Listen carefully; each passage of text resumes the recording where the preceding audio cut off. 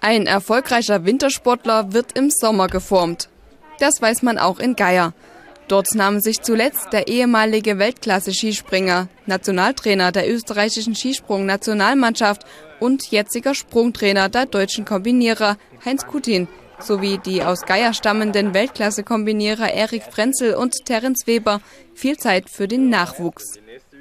Und neben viel Know-how haben sie dem rührigen SSV Geier auch etwas Praktisches mitgebracht.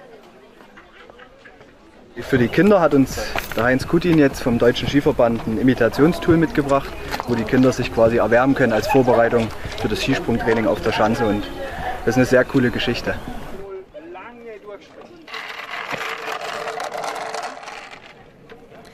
Natürlich wollte jeder sein Bestes geben und vor den namhaften Sportlern das eigene Talent unter Beweis stellen.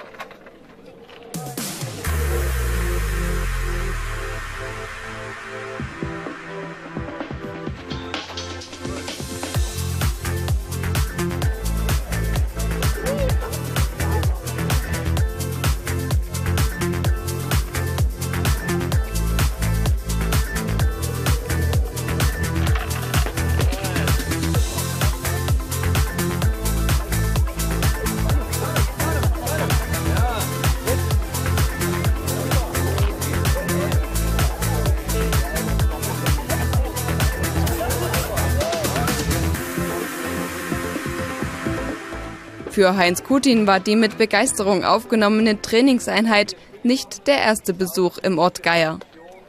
Nein, ich kannte ihn vorher schon, weil ich habe, äh, wo ich angefangen habe mit dem Skiverband zu arbeiten, den Erik Frenzel besucht und da war ich bei ihm zu Hause.